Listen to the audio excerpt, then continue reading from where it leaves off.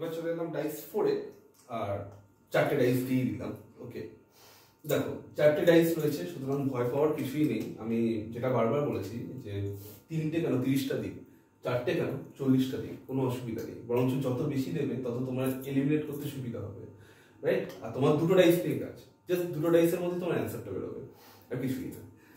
দেখো, যদি আমি এই ডাইসটা আর এই ডাইসটা ধরি তাহলে এই ডাইসটা আমাকে বলেছে অপোজিট টু সিক্স মানে সিক্স এর অপোজিট বার করতে বলেছে।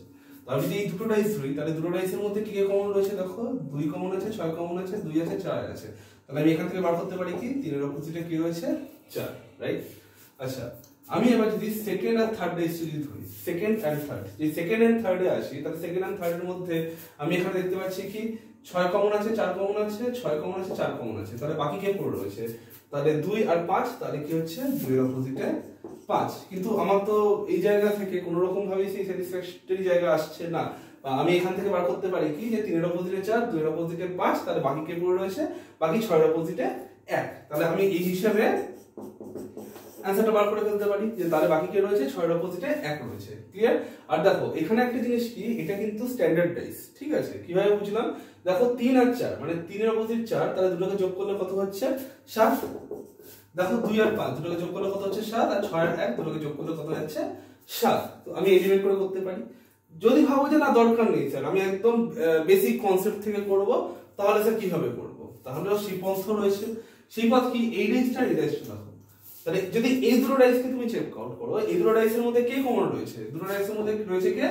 চার কমন রয়েছে। কিন্তু চারের পজিশন কি সেম রয়েছে? না, চারের পজিশন সেম নেই, চার এখানে রয়েছে, চার এখানে রয়েছে। তাহলে ফার্স্ট ডাইসটা ধরি চার। চার, সেই বললাম ক্লকওয়াইজ ডিরেকশনে করা। ক্লকওয়াইজ ডিরেকশন মানে হচ্ছে ছয়। তারপরে কাকে হিট করবে?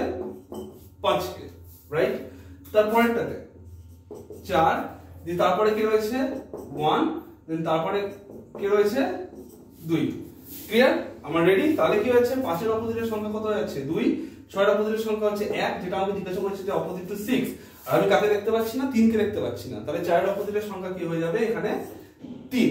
এবার দেখো তো, আমি আগে এলিমিনেট করে যে অ্যান্সারগুলো বার করেছিলাম, মিলছে কিনা? এলিমিনেট করে বার করেছিলাম না? তিনের অপোজিটে চার। দেখো, এখানে বেরিয়েছে? তিনের অপোজিটে চার। ঠিক আছে। আমি বার করেছিলাম না যে দুইয়ের অপোজিটে পাঁচ? দেখো, এখানে বেরিয়েছে দুইয়ের অপোজিটে পাঁচ। আমি বলেছিলাম না যে তাহলে এলিমিনেট করে ছয়টা পদ্ধতিতে এক আসবে।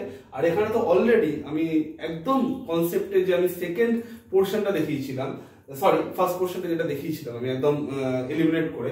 তো সেখানে আমি দেখিয়ে দেখালাম কি যে ছয়ের অপোজিট ওয়ান কারণ এই ফরম্যাটে যখন তুমি নিয়ে চলে আসছো, তাহলে সেক্ষেত্রে তোমার আরামসে অ্যান্সারটা হয়ে যাচ্ছে। তো তোমাকে সব রকম এই অঙ্কটার মাধ্যমে সমস্ত ফরম্যাট দেখিয়ে দিলাম যে কীভাবে তুমি ভেঙে করতে পারবে, কীভাবে তুমি এলিমিনেট করে যেটা রিমেনিং পার্ট করে থাকবে, সেটাকে তুমি দিয়ে অ্যান্সার পার করতে